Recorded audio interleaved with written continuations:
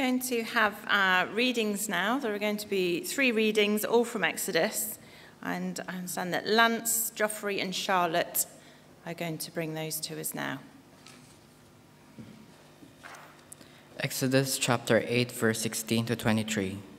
Then the Lord said to Moses, Tell Aaron, stretch out your staff and strike the, strike the dust off the ground. And throughout the land of Egypt, the dust will become gnats.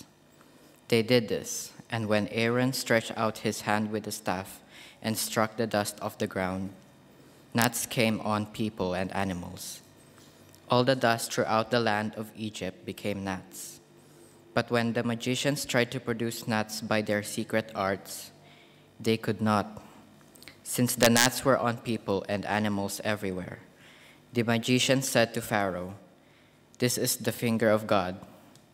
But Pharaoh's heart was hard, and he would not listen. Just as the Lord had said. Then the Lord said to Moses, Get up early in the morning and confront Pharaoh as he goes to the river and say to him, This is what the Lord says Let my people go, so that they may worship me. If you do not let my people go, I will send swarms of flies on your on you and your officials, on your people and to, into your houses. The houses of the Egyptians will be full of flies, even the ground will be covered with them. But on that day I will deal differently with the land of Goshen, where my people live. No swarms of flies will be there, so that you will know that I, the Lord, am in this land. I will make a distinction between my people and your people this sign will occur tomorrow. Exodus 9 to 7, the plague on livestock. Then the Lord said to Moses, Go to Pharaoh and say to him, This is what the Lord, the God of Hebrews, says Let my people go so that they may worship me. If you refuse to let them go and continue to hold them back, the hand of the Lord will bring a terrible plague on your livestock in the field on your horses donkeys and camels, and on your cattle, sheep and goats. But the Lord will make a distinction between the livestock of Israel and that of Egypt, so that no animal belongings to the Israelites will die. The Lord set a time and said, Tomorrow. The Lord will, be, will do this in the land. And the next day, the Lord did it. All the livestock of the Egyptians died but not one animal belonging to the Israelites died. Pharaoh investigated and found that not even one of the animals of the Israelites had died. Yet his heart was unyielding, and he would let, not let the people go. Verse 10 Then the Lord said to Moses, Go to Pharaoh, for I have hardened his heart and the hearts of his officials, so that I may perform the signs of mine among them that you may tell your children and grandchildren how I dealt harshly with the Egyptians and how I performed my signs among them, and that you may know that I'm the Lord. So Moses and Aaron went to Pharaoh and said to him, This is what the Lord, the God of the Hebrews, says How long will you refuse to humble yourself before me? Let my people go so that they may worship me. If you refuse to let them go, I will bring locusts into your country tomorrow. They will cover the face of the ground so that it cannot be seen. They will devour what little you have left after the hail, including every tree that is growing in your fields. They will fill your houses and those of all your officials and all the Egyptians, something neither your parents nor your ancestors nor have even seen from the day they settled in this land till now. Then Moses turned and left, to, left Pharaoh. Pharaoh's officials said to him, How long will this man be a snare to us? Let the people go so that they may worship the Lord their God. Did, do you not yet realize that Egypt is ruined? May the Lord bless this word. Thank you very much. I'm going to ask David to come up now. I'm going to pray for him before he shares with us.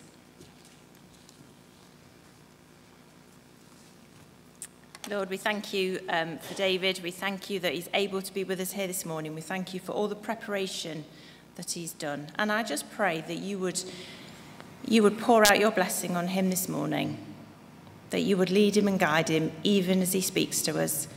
And would you give us open hearts and ears to hear from you? Lord, help us to hear your challenge, to hear your comfort, and just to be open to whatever it is you have for us this morning. In Jesus' name, Amen. Amen. Well, good morning, everyone. It's good to be here again and keep the relationship between the two churches alive because we want to keep it alive since it's in such a good condition. Um, so, Claire's uh, Basewood Road, and I'm here with you.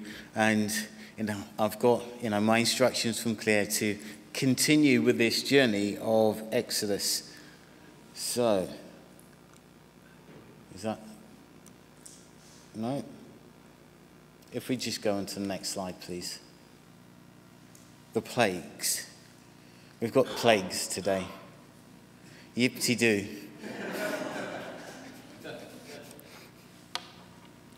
And sometimes when we um, engage with passages like this, you know, we've seen films about the story and we're familiar with different bits, and we sometimes struggle to think beyond the story. You know, what relevance does this have for you, for me today? So, hopefully, as we kind of take this whistle stop tour of chapters 7, 8, 9, and 10 of Exodus, we'll have a few highlights to inspire, to challenge, and help us move forward in our faith.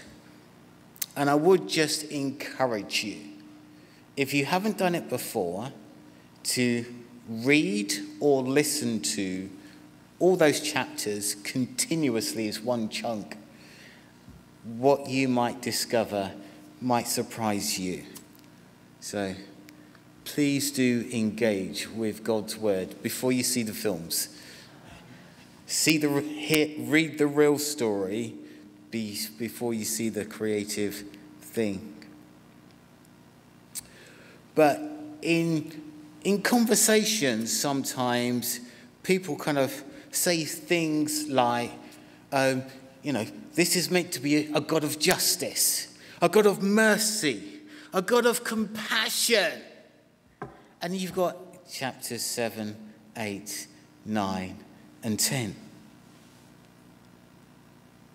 And if we just looked at the chapters all by themselves, you could have a tendency to be a bit confused. You know, let's just put our hands up and say, this is a legitimate opportunity for confusion. But I know that you've been working your way through systematically up until this point. So, what I'm about to share with you won't be news, but I do want to remind you because it helps to put 7, 8, 9, and 10 in perspective. By the point, uh, at this point, Moses is 80 years old. But at the time of his birth, the situation in Egypt was such that he was born under a death sentence. His people that were welcomed into Egypt with open arms because one of their favorite sons was a, a huge blessing, not just to Egypt, but to the entire region. That him and his household and his extended family were honored guests in the nation. And Pharaoh had a special place for him and his extended family. But for the last 80 years. Every person that's been born, that's part of that family, whose male was under a death sentence. The people were enslaved. 80 years worth of slavery.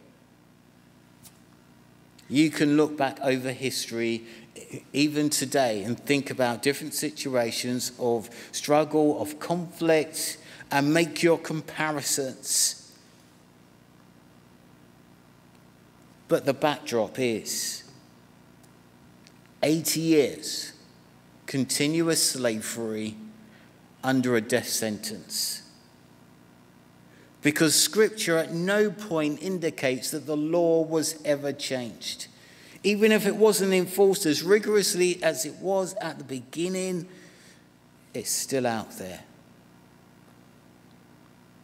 So when we come to the plagues, we need to remember Egypt's attitude towards the people of Hebrew, the people of Jacob, Moses' extended family, but also towards the God that they worship. If we have the next slide, please. Yes. I am versus Pharaoh. This is the contest. This is the setup. This is the backdrop to what's going on. You've had the burning bush meeting last week. God declares who He is. One of His uh, illustrious names, His sacred name, I am. What does that mean? It means I am. But it's I am against Pharaoh. You might think that's not a fair battle. But Pharaoh is considered a god in Egypt. He's considered the personification, the highlight of all the Egyptian gods. Not just one, but all of them. And in particular, their most famous god, the sun god, Ra, Pharaoh is meant to be the earthly manifestation of. So I think this is a worthy challenge for the God that calls himself I am to say, okay then, Pharaoh, you think you're a God. This is how you've been treating my people. 80 years of slavery under a death sentence the God who is just, who is compassionate, and is merciful, decides to step in.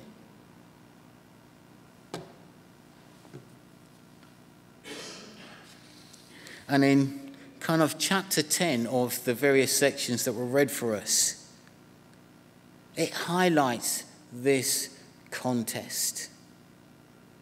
This is not just about some nasty things that happen to some people as bad as those things are.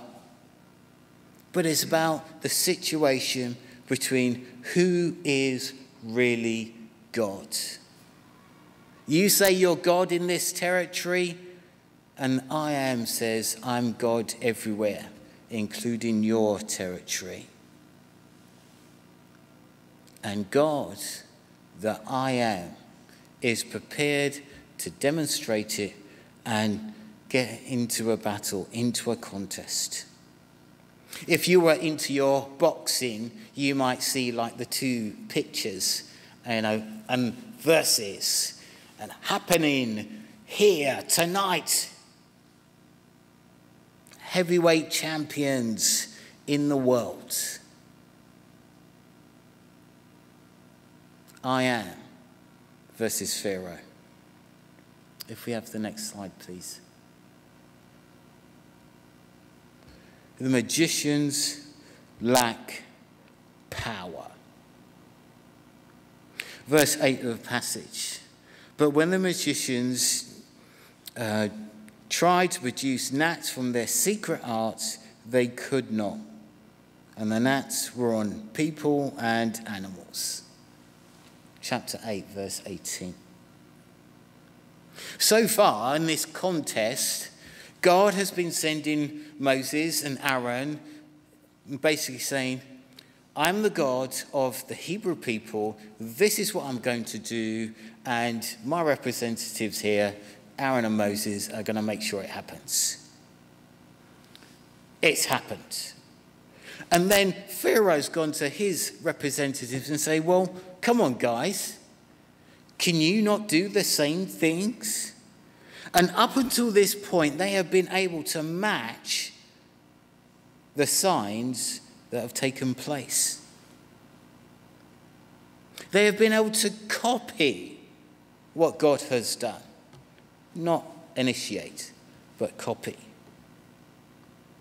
And what that says to me is that there is some real power in these other authorities significant power that can change things, that can disrupt things. And we would be naive if we didn't realize that those that want to stand against God do legitimately have power and authority that can disturb and shake up our environment. Whether that's through laws, regulations, culture, or through spiritual activity, there is real power and real things happen. But they are limited because all they can do is copy. And the strange thing, or possibly even the laughable thing about it, is by copying what God has done, they make the situation worse and not better. You know, Nile turns to blood, all the fish die. They copy it, there's some more blood. Moses, on the other hand, can make it turn to blood and can turn it back again. Reverse what was done in the first place.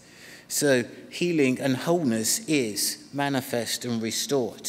As the situation goes on and on up until this point, and then the magicians have to say, okay, we give up. God has done this. This is by the finger of God. We've tried our best. We've had our top specialists come in, our world experts, and we can't do that. We can't do that. So the magicians have limited power. If we go on to the next slide, please.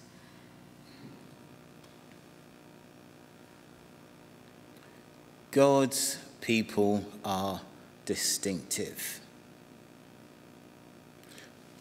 Chapter 8, verse 22. But on that day I will deal differently with the land of Goshen, where my people live. No swarms of flies will be there, so that you will know that I am the Lord, am in this land. Remember, Pharaoh and the God of the Egyptians, this is meant to be their home turf. This is their home stadium. They're, you know, yeah, they've got all their fans, all their supporters. But God says, in this part of your land where my people live, I will make a distinction. I will show that I'm actually in the land on your turf, and you can do absolutely nothing about it. God makes a distinction. This plague will happen all over there, but in this space it will not. Which is brilliant for the, Hebrew people. They get to experience, you know, positive uplift. Hey, we're having a good time, at least for a few days. But there's also a couple of things to notice about what happens. Firstly, that the Hebrew people do absolutely nothing to achieve this. They are the recipients of God's grace in this situation. The distinctiveness is simply by the action and activity and the grace of God. It's not that they're any better people than the Egyptians, it's simply that God wants to make a distinction between those that will worship Him and those that do not. And so the question that it raises for me is what's, what does this mean for us? Should there be a God distinctive about us as we are worshipping Him? Surely, if there's any uh, situation that we are the recipients of God's grace, God's blessing. Not because of anything that we have done, but simply because of what He has done. That is in a magnitude, magnified and personified in the life, the death, the resurrection, and the ascension of Jesus. Jesus says you can have a wonderful relationship with the creator of the world if you say yes to me. And that's it. It's got nothing to do with anything any of us may or may not have done. And so, if we've said yes to Jesus, if we consider ourselves to be his disciples and worshiping this true God, then what's the distinctive? Or what distinctives should we be reflecting in our life? Is there any distinctiveness about our life as we worship this God? Not because we are special, but because of what God has done for each one of us that says yes to Him when people look at our lives, friends, neighbours, work colleagues, family, at that social event, is there anything distinctive about it? Is there anything they can look to and say, yeah, that person is a Christian. That person is a follower of Jesus. Not because of they've told you've told them, but there's something about your life that's a signpost that's pointing towards Jesus. If we go to the next slide, please.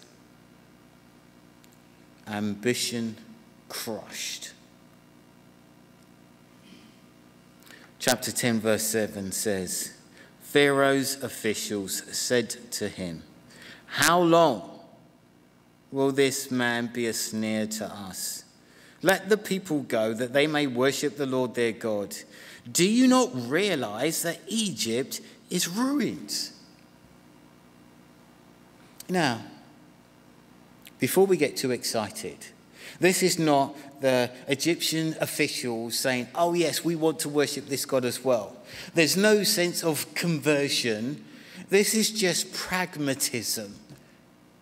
This is, we've come to the realization that what God has done amongst us has ruined the nation. Come on, Pharaoh. Why are you keeping these people in this place any longer? Your ambition has been crushed. See, at the start, if you look back into Exodus chapter 1, and that transition from a place of privilege for the people, the Pharaoh says, well, they're getting too numerous. And so we need to act wisely. We need to be crafty. We need to be protective. Because if they turn against us, then we lose our economy. We lose our influence. We lose our position of, you know, being looked up to in the world. So, in order to sustain our place of privilege, we need to treat them badly. The complete opposite has now materialized. That passage that was read for us in chapter 9, the first seven verses, was a plague against uh, animals. And you might think, you know, God, why do you pick on the animals? The animals are fine. But each of these plagues is not simply an attack on those things, they all symbolize gods in Egypt. So each animal type represents a different god. I didn't want to kind of list all the gods because there's a long list. but in the animal section, there's two types of cow there's the male and the heifer, and they're both gods. And then you've got the horses, and you think the horses, oh, they're fine. But they're Egypt's military power. And then you've got, you know, the sheep and the goats. I mean, the sheep and the goats, they're cuddly. That's economic food production. And then you've got the pack animals. This is their transport infrastructure. God has attacked every single um, kind of personification of might and strength in the nation. So it's ambition crushed by the hand of God, as well as saying, You think these are gods, I will show you who is God. But what about us? Let's bring it home. Let's bring it personal. What about our ambition? Are we kind of off uh, chasing film, fame, or wealth, or money, greed? Maybe we're putting our families above God, or our careers above God. Good things, helpful things. But if they're in the wrong place, if you put them above the one who is I am, then the I am has something to say about it. Because he says, I am God. None of these things are. You can have them, but they need to be in the right place. God has crushed the ambition of Pharaoh and of Egypt. Hopefully, he doesn't have to crush yours or mine, but we can lift him up to the right place, and then he won't need to. And hopefully, we've got one more slide. Yeah. Culture seeks compromise. Towards the end of the plagues, um, Pharaoh mellows his tone a little bit. Not a great deal, but a little bit. And it's worthy of note. He comes to the realization that he's on a bit of a sticky wicket and that he's dealing with God and God always wins. Um, and it's like, oh, you've done it again, Moses. Okay, you know, I'll let the people go, get rid of this. Moses goes off, prays every time. Great amount of compassion. Please, God, bring it to an end. And once the situation over, once the stress is off of Pharaoh, Pharaoh's like, ah, not interested. Change my mind. But towards the latter stages, he's like, well, you can, I can go, but I'm not sure if all of you should go. Maybe just the men. Or maybe just take some of the animals. Or maybe you just go over there instead of go away for three days. Pharaoh tries to negotiate with Moses about what is legitimate worship and what is not. He's trying to adjust, he's trying to squeeze, he's trying to compromise. He's trying to create something that is comfortable for him, convenient for him, that kind of help support him in his situation and his economy and his ambitions and his desires rather than freely allow the people of God to worship God in the terms that God has sent to them.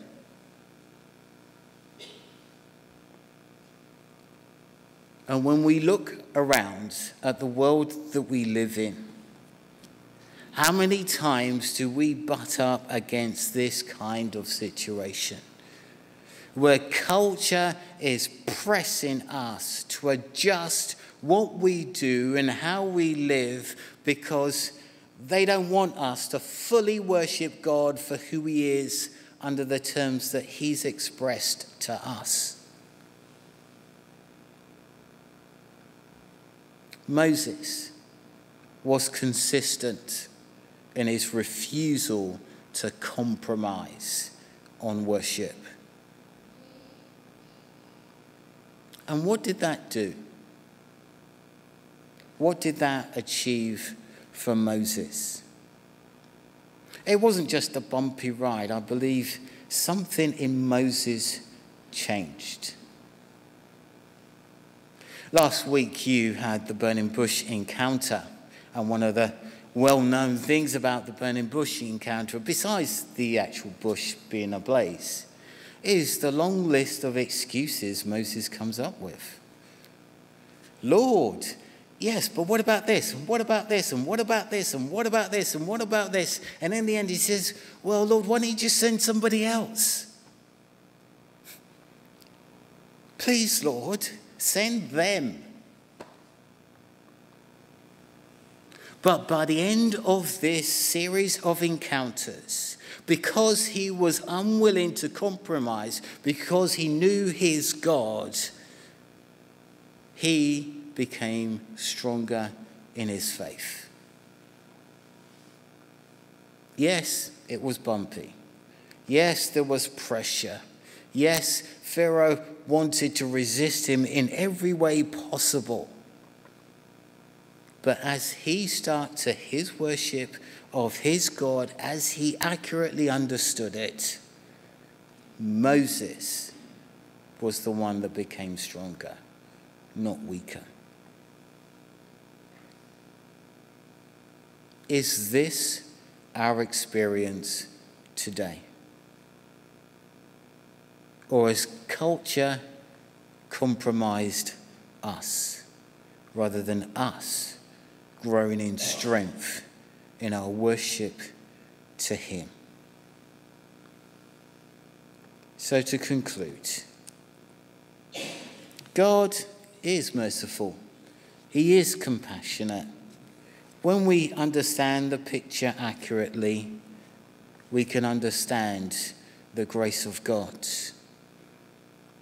The opposition is real and it is powerful but it has limited power and authority when in comparison to God. The God wants to make a distinction between his people and other people. Not because they've done or we've done anything, but because of all that he does for us. If we're not careful, we could put other things in God's place. And that might mean for us, our ambition could be crushed.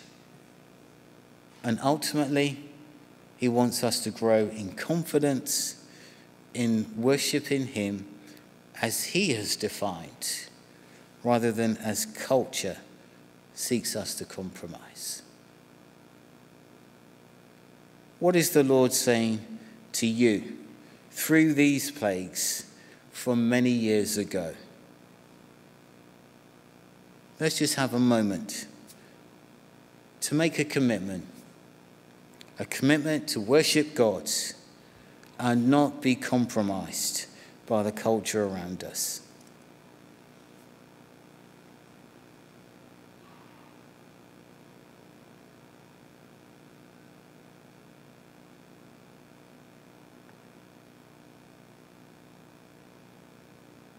We thank you, Heavenly Father, that you are truly a great and awesome God, that we can trust you, we can depend on you and your word, and we want to seek to worship you in spirit and in truth, and help us to grow in confidence in you, that our worship is fully expressed to you and that we're not compromised by the culture around us.